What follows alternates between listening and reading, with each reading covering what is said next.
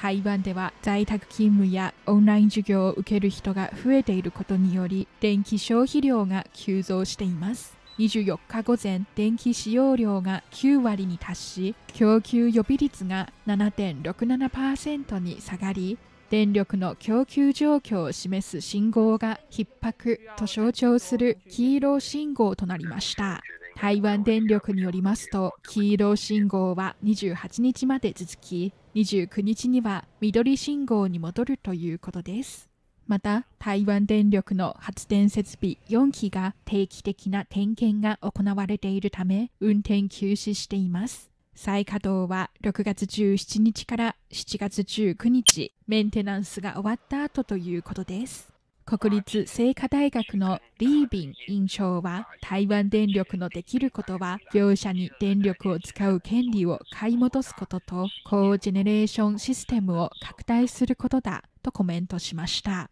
国民も電気使用量を節約して共に電力不足を乗り越えなければならないということです。